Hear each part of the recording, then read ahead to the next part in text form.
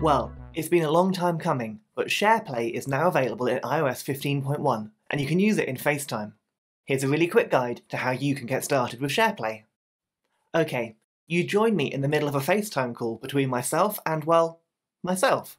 A perfectly normal thing to do, I'm sure you'll agree. As soon as I'm in that FaceTime call, we can start using SharePlay as long as everyone in the call is running iOS 15.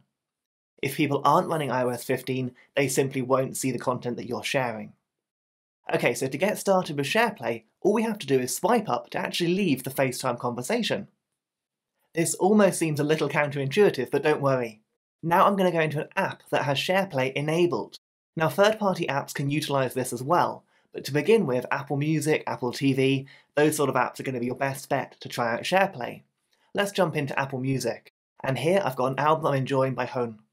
I want to share that song with myself on FaceTime, and SharePlay will make that really easy for me. In fact, you can see at the top of my screen I've got a notification straight away that says content is ready to share over SharePlay. So I'm going to choose the song that I like from the new album by HONNE, and as soon as I start playing it on my iPhone, my iPad will then get a message asking if I want to join SharePlay on there as well. Obviously I'm going to press join, but unfortunately my Apple Music account only works on one device at a time, and I'm not going to upgrade just for this video.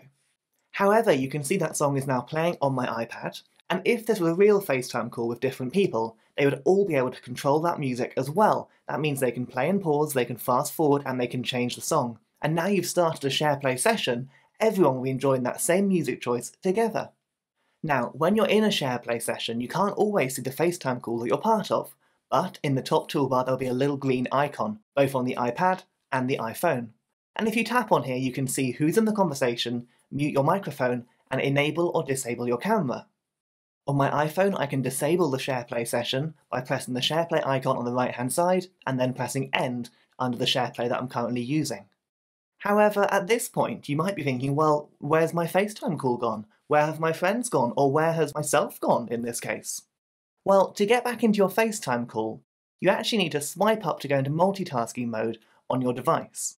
From here, you'll then see your active call as a window at the very front of your multitasking view.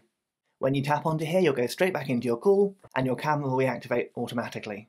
That's a really quick look at music on SharePlay, but let's have a quick look at how video works as well, because it's super clever. But before we do that, you wouldn't believe how difficult it's actually been to put this video together. FaceTime is not something that's easy to do a screen recording of, particularly when you're doing a SharePlay session. It's taken me a whole day to make this 3 or 4 minute video.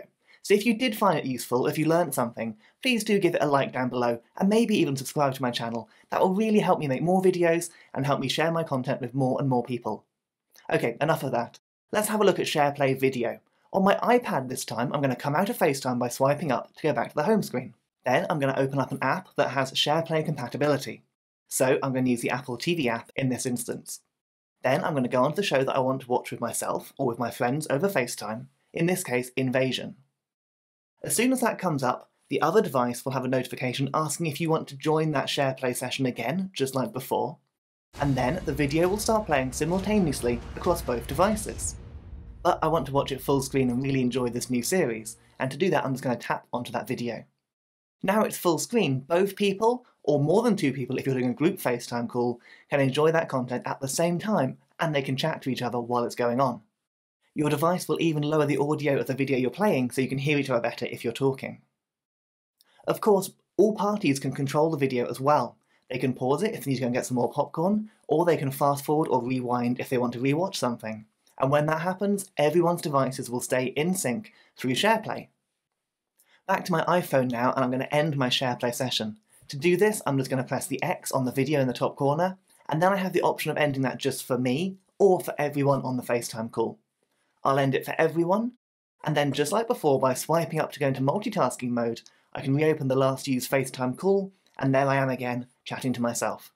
That's been a really quick guide at how SharePlay works on your iPhone and iPad running iOS 15.1. I really hope you found this useful. If you have, please do subscribe down below and give the video a like, and there are loads more videos on iOS 15 waiting for you on my YouTube channel. I'll see you all next time.